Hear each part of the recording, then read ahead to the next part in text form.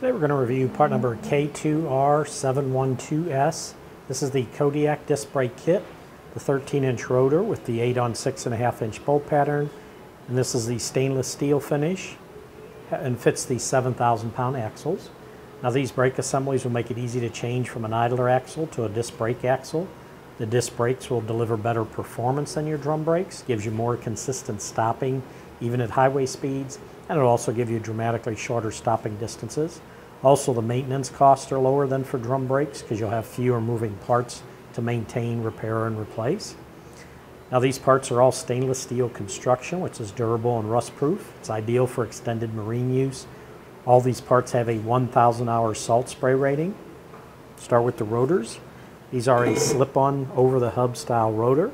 These will fit over your standard idler hub and the, the studs would come through here and these are held in place by the wheel in the wheel lugs.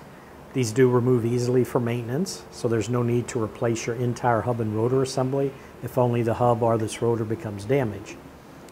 If you'll notice on these rotors, they do have the vented design. This will dissipate the heat, and this will prevent any heat-related damage to the rotors. Just want to show you the back of this also. It's all stainless steel. Now the calipers, those are a stainless steel calipers that are self-adjusting for smooth equal braking. The stainless steel construction does not flex like aluminum. Gives you excellent corrosion protection. It's ideal for extended marine use. now basically, I'm just popping the pad out there and you'll see the stainless steel piston right in here. It's a low drag design, which means this piston will retract farther than other calipers, keeps the brakes off the rotor and gives you a cooler running brake. Now the stainless steel piston is two and a half inches in diameter, so it's about 30% larger than other brands. So that'll give you more braking torque than the competition. And then it comes also with these high performance ceramic brake pads. Now over here, these are the stainless steel mounting brackets, which will provide strength and durability. You notice, it has the nice side support design. So this will ensure that the load is placed on the whole bracket, not just on the bolts.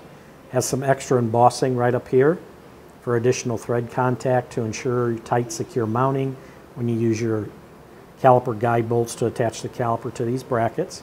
If you also notice, this is a 5-bolt brake flange mounting configuration.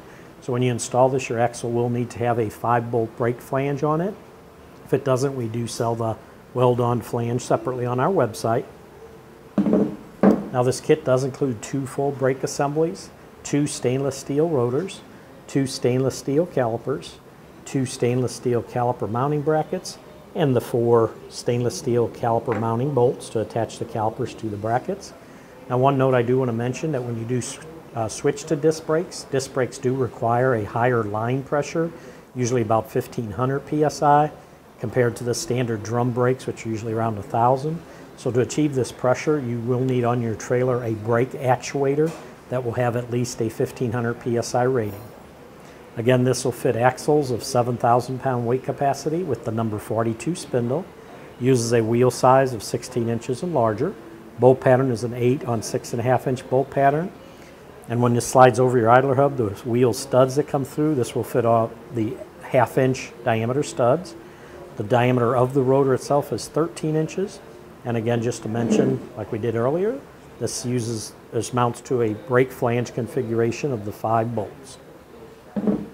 But that should do it for the review on part number K2R712S, the Kodiak disc brake kit, the 13 inch rotor, and the 8 on 8 6.5 inch bolt pattern, and everything in stainless steel finish.